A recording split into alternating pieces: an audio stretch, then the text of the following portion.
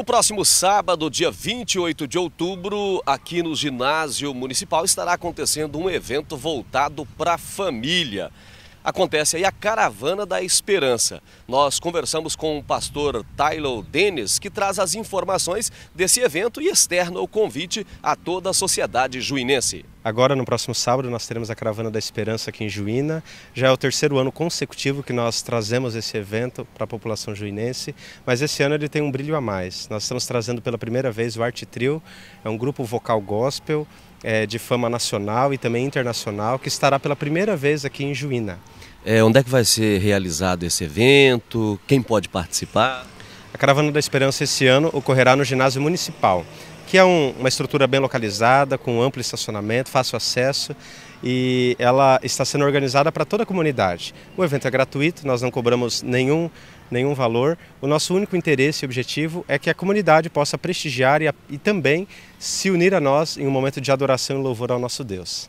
É, a, as casas religiosas aqui do município terão uma participação efetiva ou tem uma única religi é, casa religiosa que está organizando? Nós é, estamos promovendo através da Igreja Adventista do Sétimo Dia dessa região, mas nós também estamos convidando né, os nossos irmãos de fé de outras igrejas para que também se unam a nós nesse momento de caravana. Nós já temos notícia de que haverá caravanas de outras igrejas vindo de Castanheira, de Bras Norte, e será um momento único né, para festejar, se alegrar e celebrar. E também, por que não, a gente tem um momento de clamor a Deus e suplicar o favor dele em nossa comunidade. E qual que é o horário, pastor, que vai estar acontecendo essa caravana da esperança aqui no ginásio? A caravana vai ocorrer a partir das sete e meia da noite, mas um conselho, é bom ser seguido, né? Para que você obtenha os melhores lugares, nós convidamos você, toda a audiência da TV Amplitude, para que venha um pouco mais cedo, para que consiga estar em bons locais, para ser bem recebido e acolhido por toda a nossa equipe. Pastor, uma novidade, né? De repente as pessoas que queiram conhecer o trabalho né, do grupo que vai estar aqui, como deve proceder a pessoa que queira conhecer esse trabalho?